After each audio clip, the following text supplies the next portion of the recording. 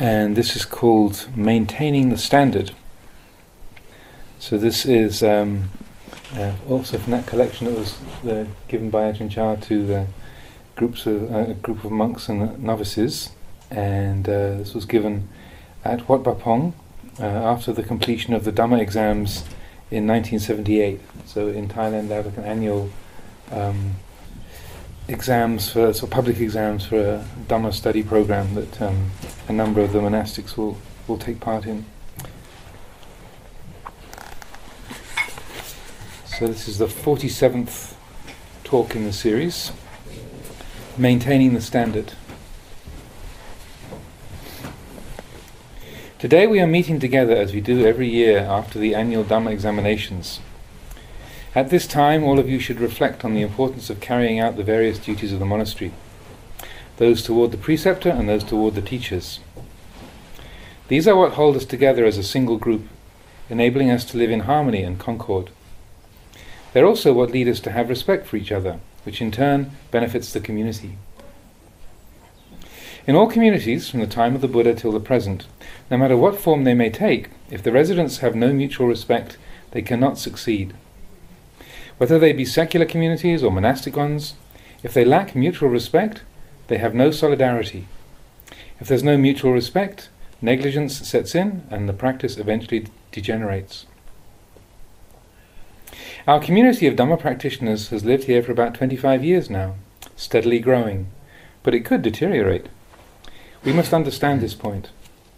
But if we're all heedful, have mutual respect, and continue to maintain the standards of practice, I feel that our harmony will be firm our practice as a group will be a source of growth for Buddhism for a long time to come.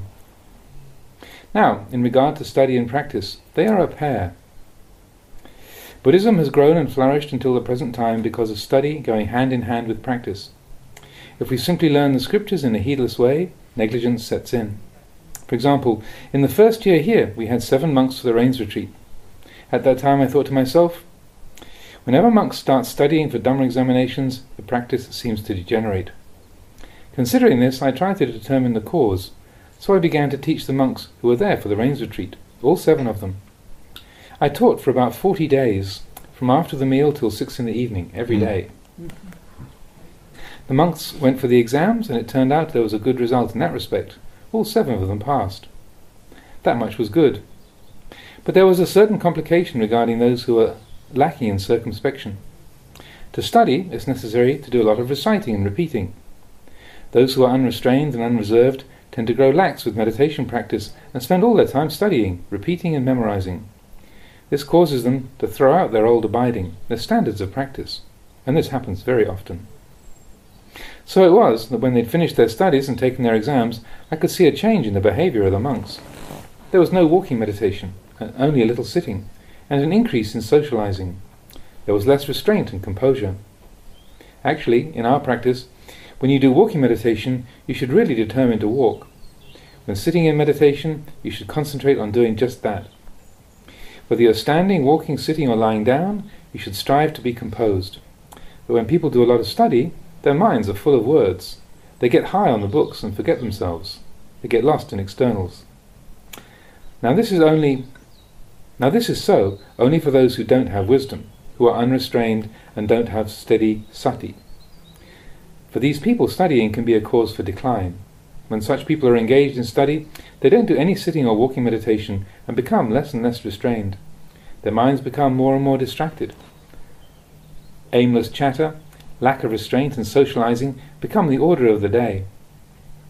This is the cause for the decline of the practice.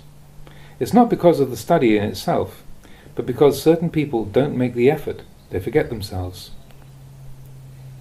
Actually, the scriptures are pointers along the path of practice. If we really understand the practice, then reading or studying are both further aspects of meditation. But if we study and then forget ourselves, it gives rise to a lot of talking and fruitless activity. People throw out the meditation practice and soon want to disrobe. Most of those who study and fail soon disrobe. It's not that study is not good, or that the practice is not right. It's that people fail to examine themselves. Seeing this, in the second rains retreat, I stopped teaching the scriptures. Many years later, more and more young men came to become monks. Some of them knew nothing about the Dhamma Vinaya and were ignorant of the texts. So I decided to rectify the situation, asking those senior monks who had already studied to teach. And they have taught up until now, until the present time. This is how we came to have studying here. However, every year when the exams are finished, I ask all the monks to re-establish their practice. So all the scriptures which aren't directly concerned with the practice, put them away in the cupboards. Re-establish yourselves. Go back to the regular standards. Re-establish the communal practices, such as coming together for the daily chanting. This is our standard. Do it even if it on- do it even if only to resist your own laziness and aversion. This encourages diligence. Don't discard your basic practices eating little, speaking little, sleeping little, restraint and composure, aloofness, regular walking and sitting meditation, meeting together regularly at the appropriate times. Please make an effort with these, every one of you. Don't let this excellent opportunity go to waste. Do the practice. You have this chance to practice here because you live under the guidance of the teacher. He protects you on one level, so you should all devote yourselves to the practice. You've done walking meditation before, now you should also walk. You've done sitting meditation before, now also you should sit. In the past you've chanted together in the mornings and evenings, and now also you should make the effort. These are your specific duties. Please apply yourselves to them. Those who simply kill time in the robes don't have any strength, you know. The ones who are floundering, homesick, confused, do you see them? These are the ones who don't put their minds into the practice. They don't have any work to do. We can't just lie around here. Being a Buddhist monk or novice, you live and eat well. You shouldn't take it for granted. Kama sukhalikanu yogo, indulgence in sense pleasures, indulgence in comfort, is a danger. Make an effort to find your own practice. Whatever is faulty, work to rectify. Don't get lost in externals. One who has zeal never misses walking and sitting meditation, never lets up in the maintenance of restraint and composure. Just observe the monks here. Whoever, having finished the meal and, any business, having hung out his robes, walks meditation. And when we walk past his kuti, we see that the walking path is a well worn trail, and we see him often walking on it. This monk is not bored with the practice. This is one who has effort, who has zeal.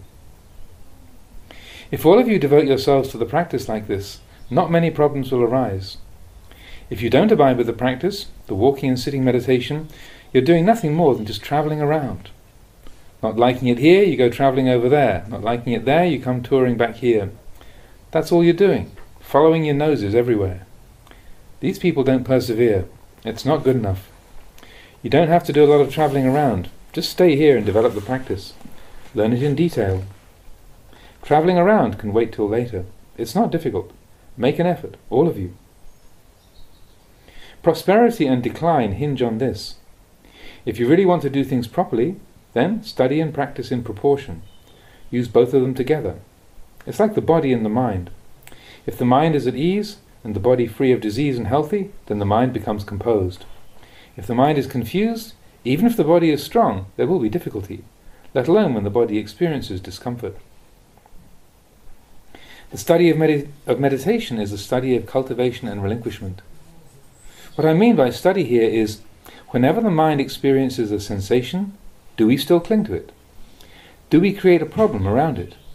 Do we experience enjoyment or aversion over it? To put it simply, do we still get lost in our thoughts? Yes, we do. If we don't like something, we react with aversion. If we do like it, we, re- we react with pleasure, and the mind becomes defiled and stained. If this is the case, then we must see that we still have faults. We're still imperfect. We still have work to do. There must be more relinquishing and more persistent cultivation. This is what I mean by studying. If we get stuck on anything, we recognize that we're stuck. We know what state we're in, and we work to correct ourselves. Living with the teacher or apart from the teacher should be the same. Some people are afraid. They're afraid that if they don't do walking meditation, the teacher will upbraid or scold them. This is good in a way, but in the true practice, you don't need to be afraid of others. Just be wary of faults arising within your own actions, speech, or thoughts. When you see faults in your actions, speech, or thoughts, you must guard yourselves. Atano chodayatanang. You must exhort yourself. Don't leave it to others to do. We must quickly improve ourselves, know ourselves. This is called studying, cultivating and relinquishing. Look into this till you see it clearly. Living in this way, we rely on endurance, persevering in the face of all defilements. Although this is good, it's still on the level of practicing the Dhamma without having seen it. If we've practiced the Dhamma and seen it, then whatever is wrong, we will have already given it up. Whatever is useful, we will have cultivated.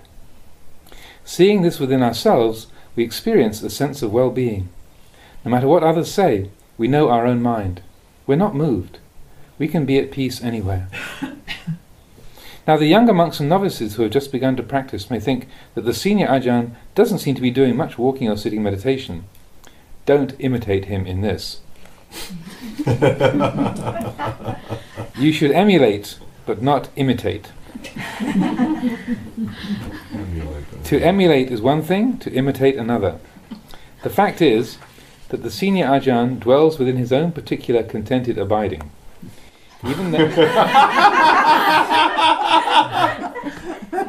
well done, Pata. even though he doesn't seem to practice externally, he practices inwardly. Whatever is in his mind cannot be seen by the eye.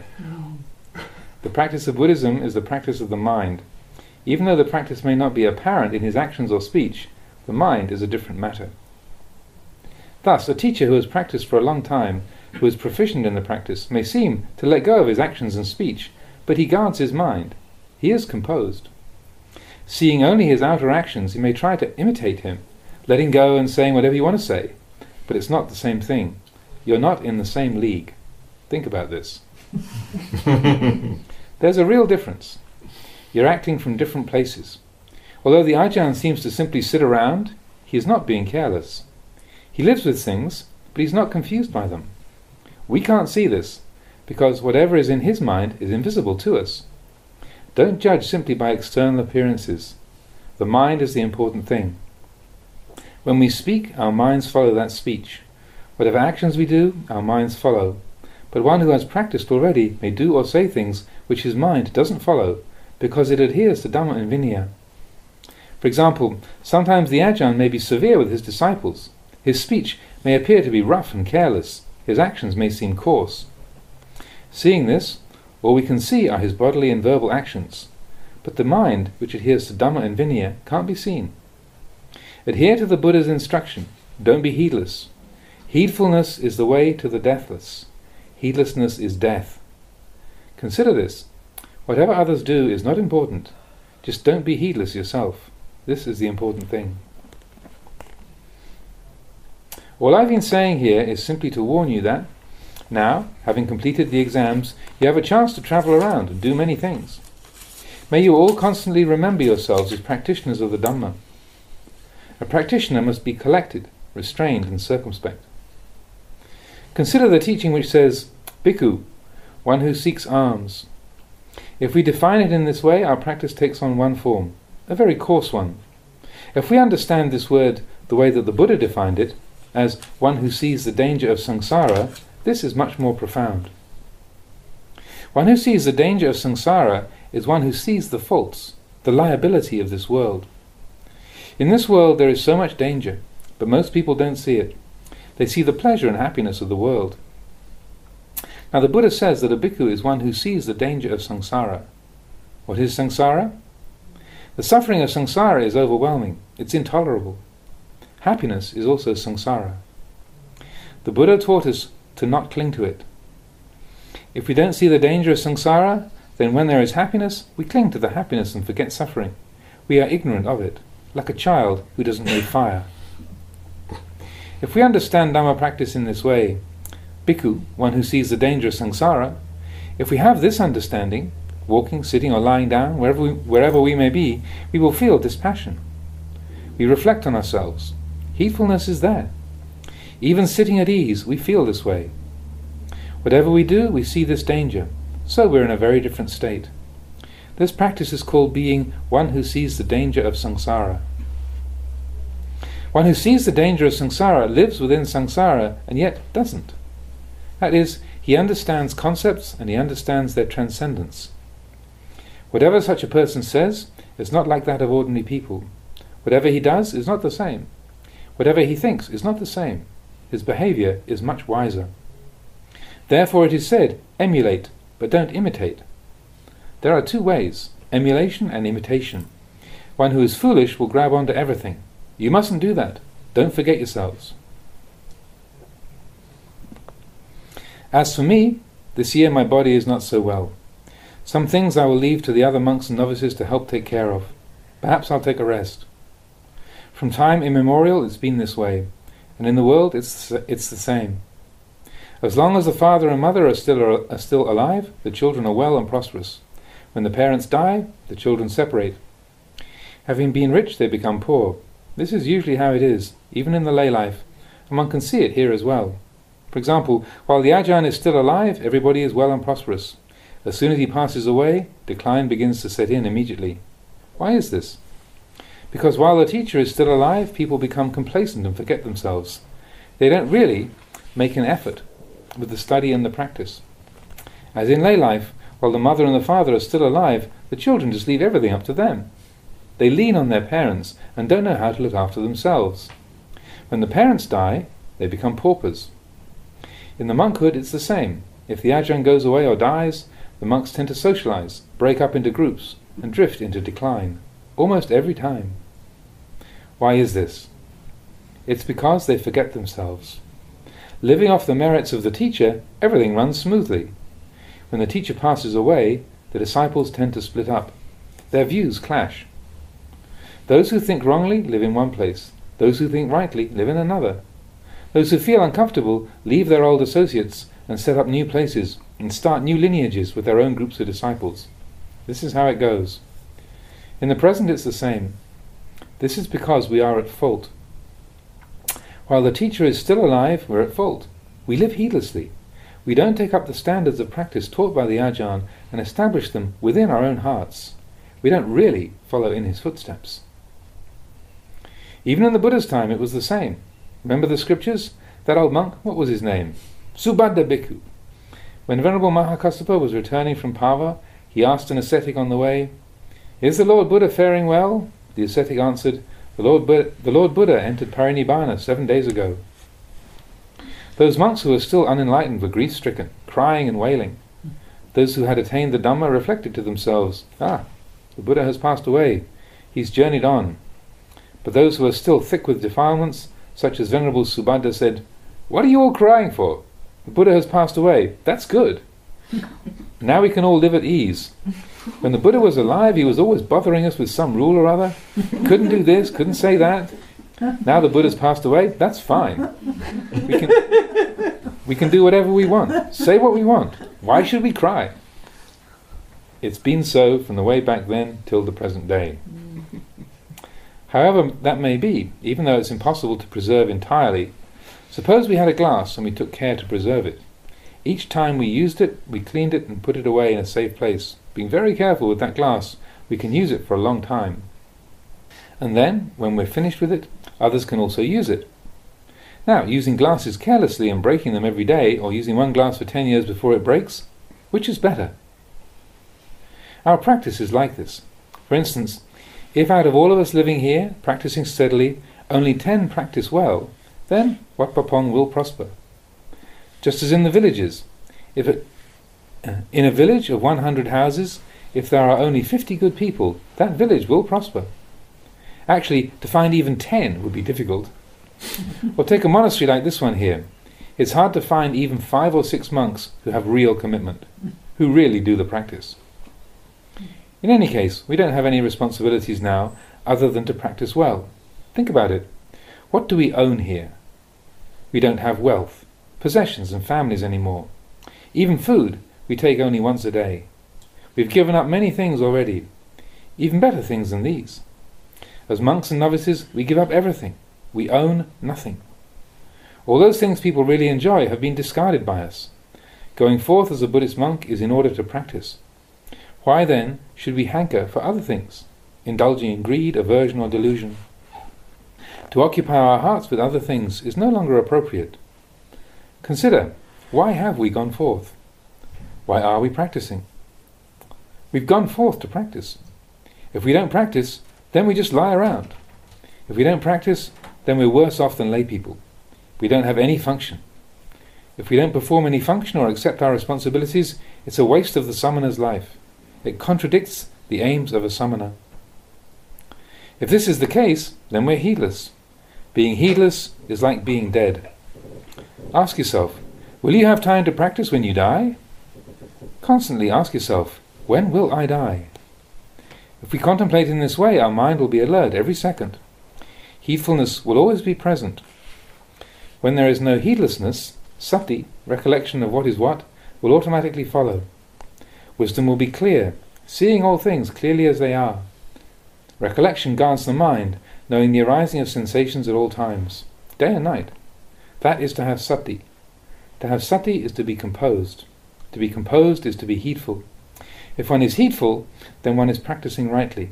This is our specific responsibility. So, today I would like to present this to you all. If in the future you leave here for one of the branch monasteries or anywhere else, don't forget yourselves. The fact is, you are still not perfect, still not completed.